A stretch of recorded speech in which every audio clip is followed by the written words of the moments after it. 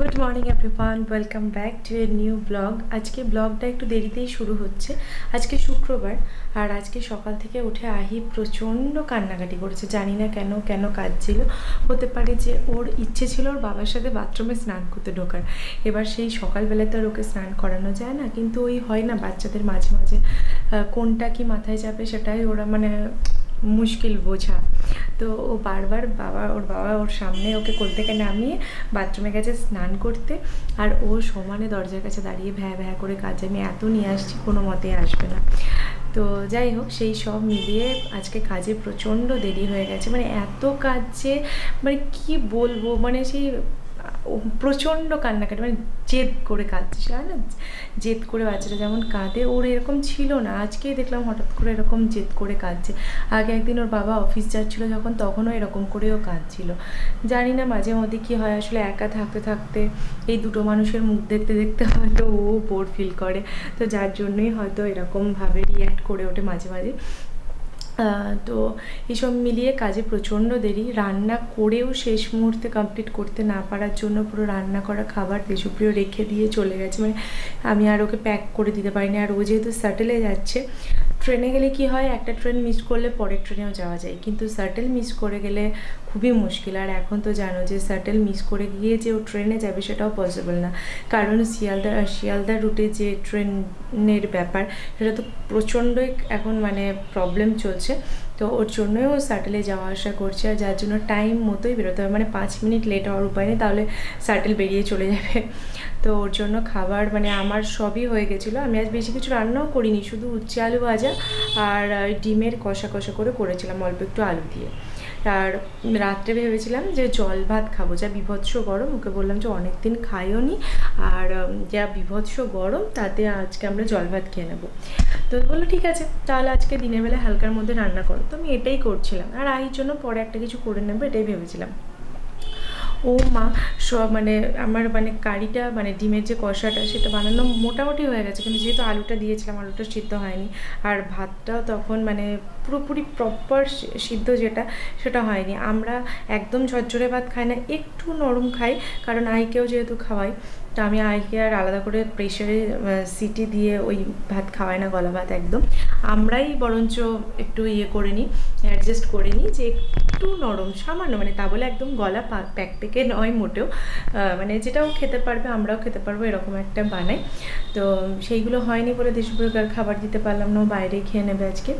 আর ওর জন্য মনটাও একটু খারাপ যে সকালবেলায় আমি কষ্ট করে উঠে খাবার দাবার বানালাম, তারপর আবার একটু জন্য আরও নিয়ে যেতে পারল না। ট্রেন হলে ও একটু ওয়েট করে যেত, কিন্তু সাটেল ওর জন্য ওয়েটও করতে পারল না। নিয়ে না নিয়েই চলে যেতে হলো ওকে।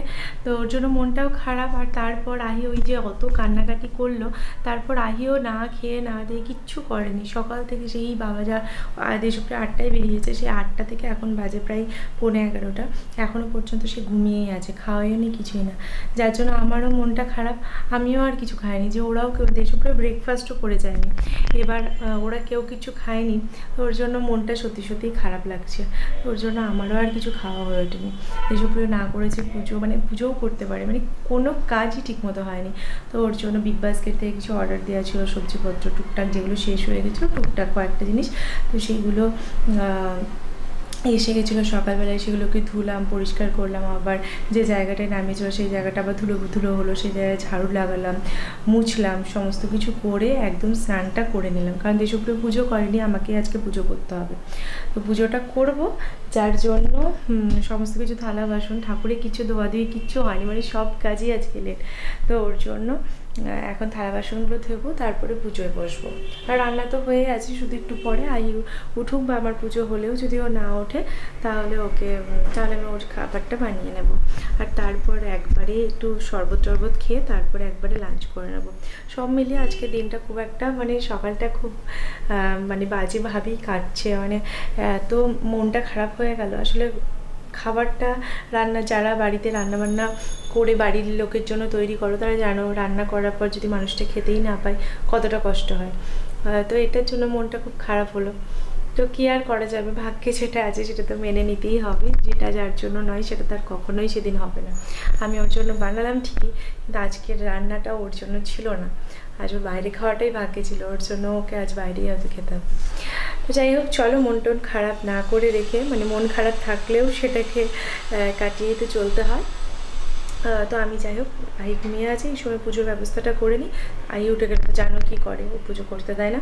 আর সরি আমার দুঃখের কাহিনী প্রথমেই ব্লগের শুরুতেই তোমাদের বলার জন্য।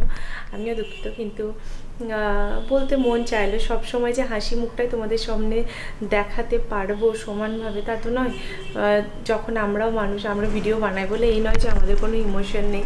তো খারাপ লাগা আজকে মনের মধ্যে একটা আছে, তো সেটাও তোমাদের সাথেই শেয়ার করলাম। যখন ভালোটা শেয়ার করি, তখন খারাপটাই বা কেন নয়।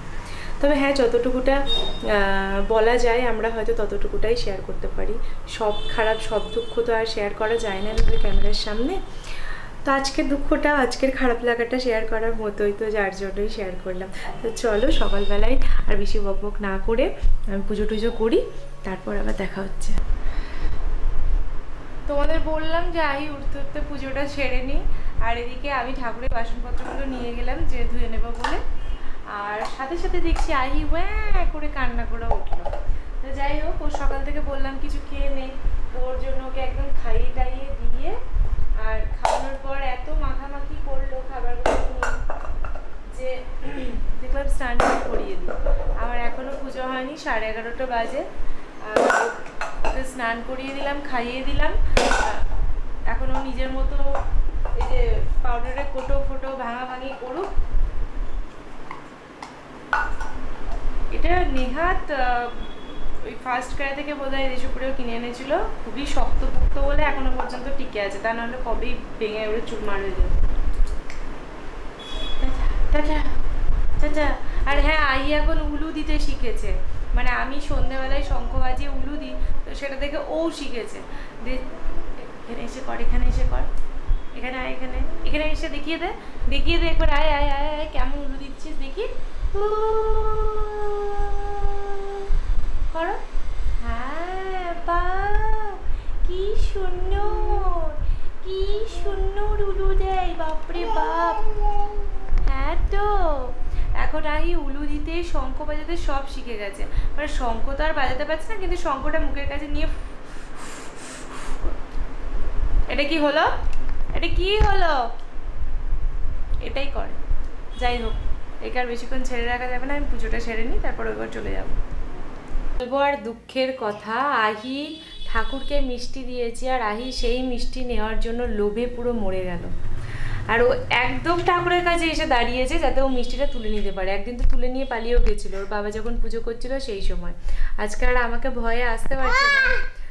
কিন্তু রাগ দেখাচ্ছে। মাঝে মাঝে এসে আমার চুল ধরে টেনে দিচ্ছে। আ? কে বলবে? এখনই চুল আঁচড়ে দিয়েছি। পুজোর শেষের দিকে শুধু ধূপদীপটা জ্বালিয়ে দেবো, ব্যাস। তাহলেই হয়ে যায়।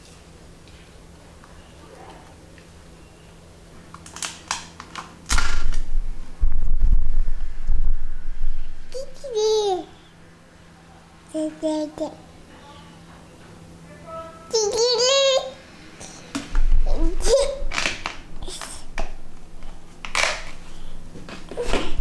きこっちょとみおた？はい、ち。